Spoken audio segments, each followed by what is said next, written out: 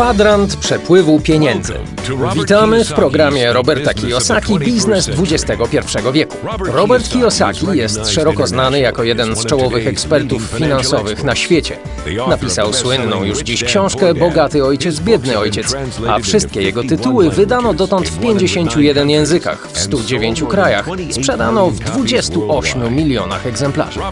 Robert od wielu lat uczy ludzi w jaki sposób osiągnąć wolność finansową. W tej specjalnej serii filmów tłumaczy, dlaczego marketing sieciowy jest prawdziwym biznesem XXI wieku. I jak ty możesz skorzystać z możliwości, które oferuje marketing sieciowy, by zbudować sobie styl życia, jakiego pragniesz. Kolejna kwestia to jedna z najważniejszych lekcji, jakie przekazał mi bogaty ojciec, czyli tak zwany kwadrant przepływu pieniędzy. Wyjaśnił mi, że w świecie biznesu funkcjonują cztery rodzaje ludzi. E – pracownicy etatowi, S – samozatrudnieni, small business, specjaliści. B oznacza tu duży biznes, a I oznacza inwestora.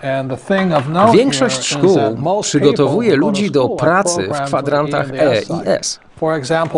Mój biedny ojciec powtarzał: Synu, skończ dobrą szkołę i znajdź sobie bezpieczną, pewną pracę. Chciał, abym był pracownikiem na etacie. W tym duchu się wychowywałem. Znajdź dobrą pracę z pewną pensją i świadczeniami.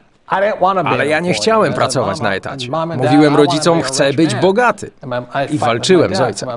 Wreszcie mama powiedziała, synku, jeśli chcesz być bogaty, a była dyplomowaną pielęgniarką, to najbogatsi ludzie, jakich znam, to lekarze specjaliści.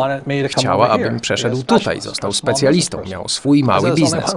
Mówiłem, mamo, ale jest jeden problem. Lekarze muszą być bardzo mądrzy. No tak, masz rację, więc nie będziesz lekarzem.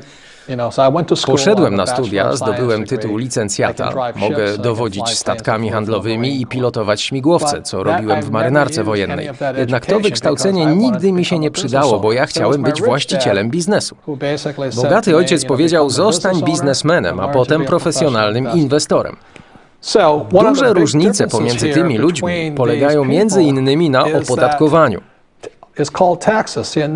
W roku 1943 rząd Stanów Zjednoczonych wprowadził ustawę mówiącą, że pracownicy muszą zapłacić podatek, zanim otrzymają wypłatę.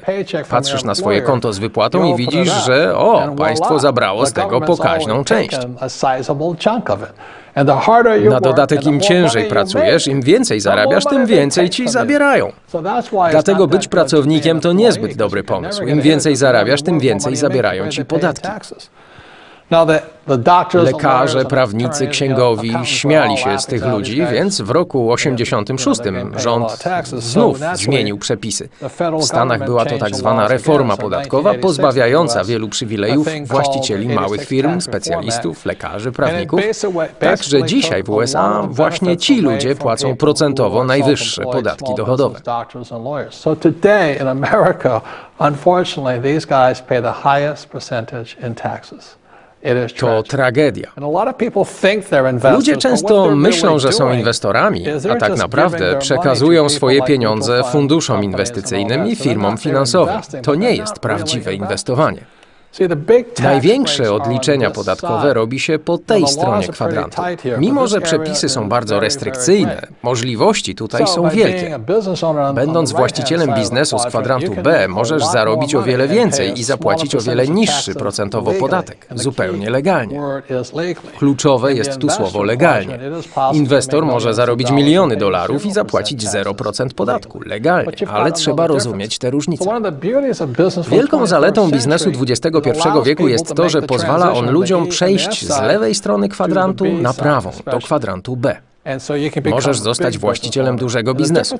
Biznes z kwadrantu S różni się tym od biznesu z kwadrantu B, że ci ludzie tutaj nie mogą przestać pracować w swojej firmie. Jeśli zostawią ją na miesiąc, firma bez nich się zawali. To nie jest prawdziwy biznes.